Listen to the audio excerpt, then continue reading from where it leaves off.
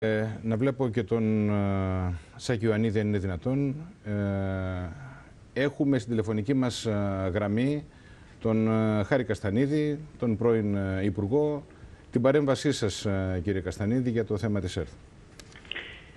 Κύριε Ντόζη, νομίζω ότι δεν θα προσθέσω τίποτα στα πολλά τα οποία έχουν λεχθεί και τα οποία συνηγορούν όλα σε μια απολύτως ευνηδιαστική, απολύτως αντικοινοβουλευτική και ενάντια στο δημόσιο συμφέρον απόφαση της κυβέρνησης να κλείσει την δημόσια τηλεόραση. Και τους τρεις δηλαδή τηλεοπτικούς σταθμούς, τους πολλούς ραδιοφωνικούς σταθμούς και το καθεξής.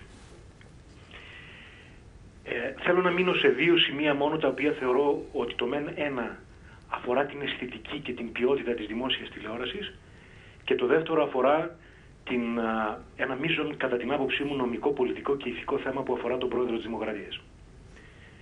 Ε, σε ό,τι αφορά την αισθητική και την ποιότητα της δημόσιας τηλεόρασης. Καλός είναι ο ανταγωνισμός, ο τηλεοπτικός και ο ραδιοφωνικός.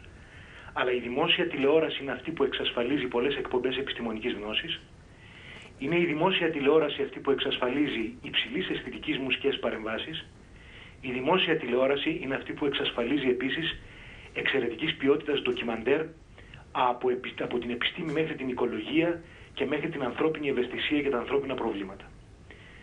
Ε, κάτι που σπάνια μπορείς να δεις ε, λόγω του εμπορικού ανταγωνισμού στα ιδιωτικά κανάλια. Αυτό λοιπόν το υψηλό επίπεδο αυτό δεν το λέτε προφανώς επειδή είναι κακό να υπάρχουν ιδιωτικά κανάλια ή να υπάρχει ένας υγιής ανταγωνισμός ή να βλέπουμε και όμορφα ψυχαγωγικά προγράμματα. Ασφαλώς, αλλά, αλλά, επειδή πρέπει να υπάρχουν και τα δημόσια αυτά κανάλια. Τα οποία αναφέρομαι συνήθως δεν είναι εμπορικά αγαθά. Είναι υψηλής ποιότητας εκπαιδευτικά αγαθά, τα οποία συνήθως τα προσφέρει η δημόσια τηλεόραση και σε αυτό θέλω να μείνω.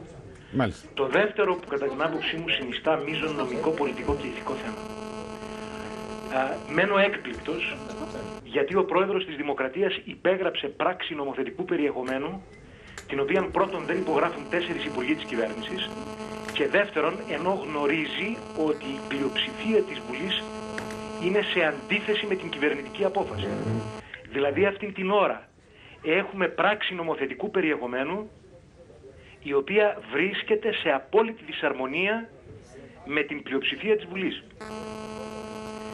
Δεν ξέρω εάν με ακούτε. Κύριε Υπουργέ, εμείς σας ακούμε. Ε, Έχει πέσει από όσο καταλαβαίνω η τηλεοπτική εικόνα. Μπράβο. Νομίζω ότι εδώ και λίγη ώρα δεν σας ακούνε οι τηλεθεατέ. Έχει πέσει και γιατί σας βλέπω ακούμε... και εγώ στην τηλεόρασή μου ότι έχει πέσει το, το σήμα ναι, ναι, ναι, ναι, ναι. Το Είναι ο ξαφνικός θάνατος που λέγαμε της κρατικής τηλεόρασης. Ευχαριστούμε πολύ, Υπουργέ. Θα, επανε... επανέλθουμε. Λοιπόν, αυτά. Κλείσαμε. Με αυτόν τον περίεργο τρόπο. Σε ποιον αέρα είμαστε τώρα; Κλείσαμε, παιδιά, κλείσαμε. κλείσαμε.